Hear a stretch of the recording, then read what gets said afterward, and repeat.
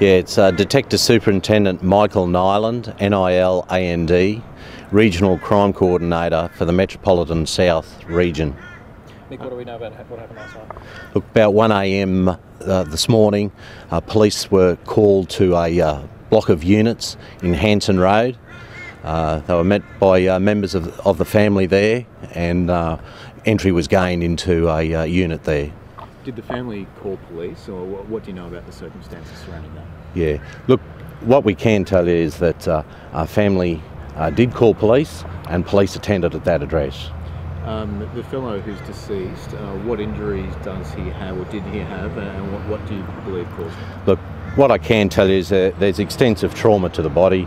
Uh, an autopsy will probably be done tomorrow. What did the apartment look like inside? Had things been damaged? Had it been sort of thrown around, that sort of thing? Look, we've got our scenes of crime police there at the moment, and uh, the matter is under investigation. How did police gain entry into the unit?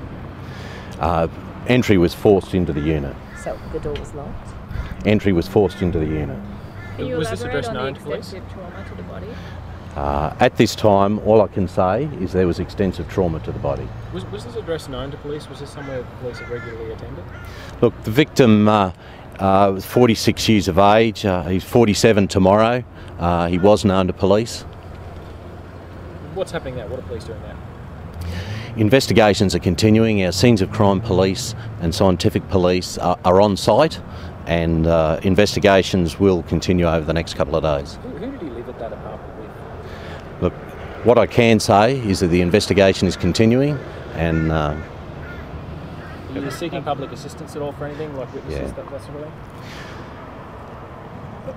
we are seeking public assistance. We ask that uh, if anyone has any, any knowledge in relation to this crime, if they could uh, contact Crime Stoppers or our major incident room. When was the last time he was seen alive? At this time, we uh, we know that our victim was alive on Friday, and uh, we are conducting investigations as to uh, the last time he was seen alive. Have neighbours been able to help at all? Look, we're uh, conducting door knocks in the area, and we ask that uh, anyone that has any information, if they could come forward.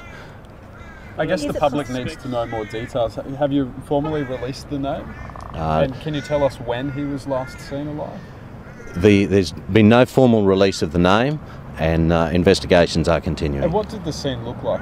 Can you describe? Was it one of the most horrific you've seen recently?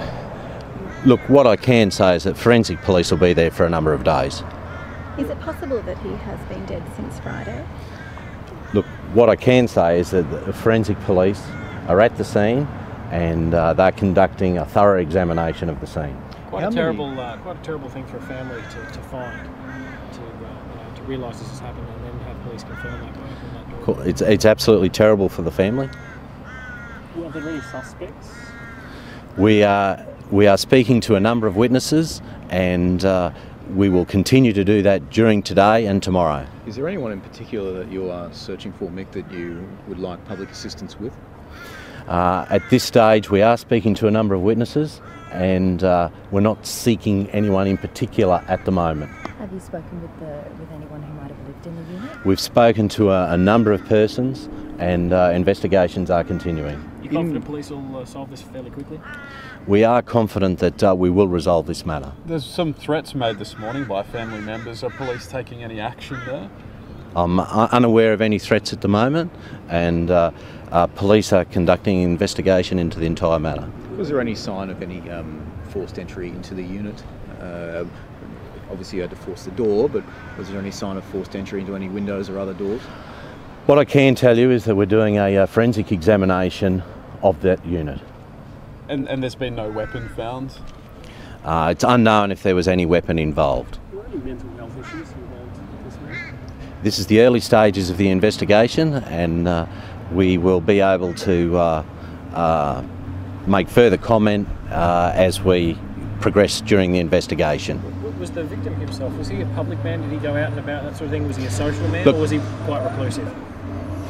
That is unknown, and uh, it's the early stages of the investigation, and there's, there's not much more I really want to say at the moment. How, how are Thanks. your officers holding up after seeing this? Officers are holding up well.